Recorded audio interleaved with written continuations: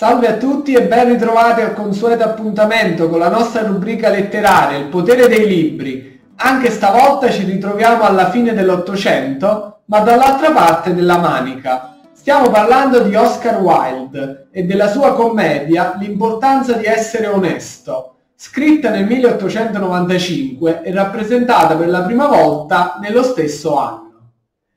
L'opera, a dire il vero, crea qualche problema nella resa del titolo in italiano. L'originale inglese è The Importance of Being Earnest. Il gioco di parole è intraducibile nella nostra lingua, giacché si basa sull'omofonia tra il nome proprio Ernest e l'aggettivo Ernest, scritto Earnest, che significa onesto. Data l'impossibilità di fare un calco di questa espressione, è molto più saggio tradurlo diversamente, come intelligentemente fa questa edizione dei mini mammut della Newton Compton. Comunque la vogliamo chiamare, si tratta di una commedia suddivisa in tre atti che ebbe un grandissimo e immediato successo. Fu definita dallo stesso autore commedia frivola per persone serie. Il primo atto si apre a Londra, in casa dell'aristocratico Algernon, che riceve la visita dell'amico di vecchia data Ernest. Algernon aveva scoperto, grazie ad un astuccio per sigarette dimenticato dall'amico, che in realtà Ernest Worthing era Jack Worthing. Jack abita in campagna, ma finge di avere un fratello di nome Ernest, per poter condurre una vita dissoluta in città. Siccome lavora come tutore della giovane Cecily, è necessario che mantenga una reputazione rispettabile. Nel contempo però anche Algernon si è creato un alter ego, spacciandosi per l'invalido Bunbury. Jack è passato in città per dichiarare il suo amore a Gwendolen, cugina di Algernon. Si presenta come Ernest e lei sembra apprezzarlo. Tuttavia avrebbe sposato solo un uomo di nome Ernest, perché quel nome le genera delle vibrazioni e ha un bel suono. Per poter ufficializzare il fidanzamento, Jack ha un colloquio con la futura suocera. Dopo un serrato interrogatorio, viene identificato come un trovatello che fu lasciato in una valigia alla Victoria Station. La suocera a questo punto si oppone al fidanzamento, a meno che Jack non si procuri dei genitori al più presto. Nel secondo atto la scena si apre in campagna, nella casa di Jack, dove vive la giovane Cecily. Algernon vuole sedurre Cecily e si presenta come Ernest, il fratello squinternato di Jack, e si innamora ricambiato di lei. Anche Cecily però sposerebbe solo un uomo di nome Ernest, ritenendolo un nome alquanto piacevole. Sul più bello arriva Jack, che manda via l'amico, che però tornerà di nascosto. Come se non bastasse, arriva anche Gwendolyn, sempre invaghita di Ernest, e parla con Cecily.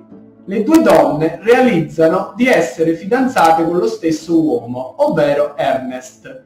Si fanno confessare la verità dai due fidanzati e alla fine li perdonano.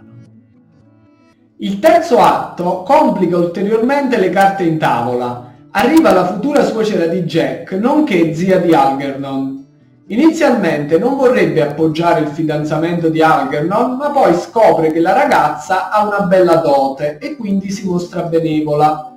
Tuttavia Jack si oppone alle nozze e il suo ostruzionismo è dovuto al tentativo di convincere la suocera a consentire il matrimonio con Gwendolyn. La donna non ne vuol sapere e la vicenda sembra mettersi per il peggio. A questo punto però da una conversazione casuale che coinvolge anche il reverendo e la governante della tenuta, si scopre che quest'ultima un tempo lavorava per la suocera e non era più tornata dopo aver smarrito il figlio di lei. Quindi Jack altro non è che il fratello di Algernon e quindi nipote della potenziale suocera. Dunque ci saranno due matrimoni, ma rimane solo un problema. Il nome di Jack gli era stato dato in un secondo momento, nessuno ricorda il suo vero nome, ma solo che aveva lo stesso nome del nonno. Fatte le debite ricerche, si viene a sapere che il suo vero nome è Ernest. Tra i 10.000 falsi nomi tra cui scegliere, guarda caso avevo optato proprio per il suo vero nome. Anche in questo episodio traspare tutto l'umorismo di Wilde. Siamo nel mondo dell'alta società, dove apparire è molto più importante che essere. Jack, pur essendo rispettabile, facoltoso e ben intenzionato, viene escluso in quanto trovatello, non avendo dei nobili ascendenti. Lo stesso gioco di parole con Ernest rappresenta il ribaltamento di una frase di Giulietta, nel momento in cui scopre che Romeo appartiene ai Montecchi. Che cos'è un nome? La rosa avrebbe lo stesso profumo, anche se la chiamassimo in un altro modo. Nell'opera di Wilde la persona non conta, il nome sì. Apparentemente L'importanza segue il canovaccio della commedia tradizionale, amore contrastato, vecchia che mette i bastoni fra le ruote, ereditiera da sposare, giovani che scogitano stratagemmi, figli illegittimi e meccanismo di agnizione finale. Eppure il finale è senza precedenti, perché smaschera senza appello tutta l'ipocrisia dell'Inghilterra vittoriana e lo fa attraverso un grande paradosso quello che era da tutti ritenuto il bugiardo, in realtà aveva sempre detto la verità. Senza ulteriori discorsi procediamo spediti con la pagella. Scorrevolezza, battute pungenti, sapiente uso delle didascalie che non intasano la lettura e dialoghi effervescenti. 9.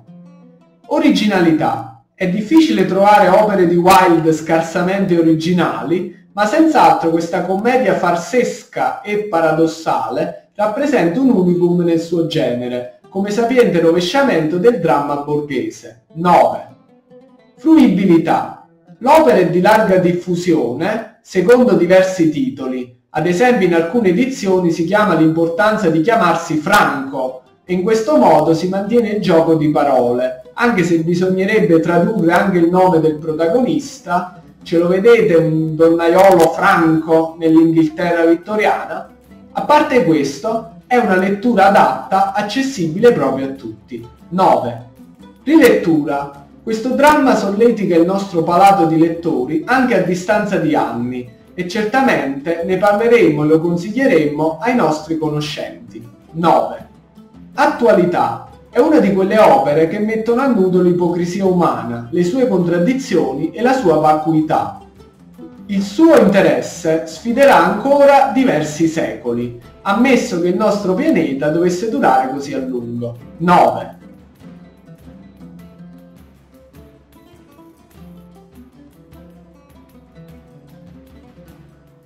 Ammetto di non aver trovato particolare difficoltà ad esprimere la media. 9. Una commedia brillante, frivola ma solo in apparenza, che spinge ad un'intensa riflessione, oltre che garanzia di leggerezza e godibilità. Con queste parole ci salutiamo, ma solo per rinnovare il nostro appuntamento con il potere dei libri. Tante puntate e tanti libri. Ciao ciao!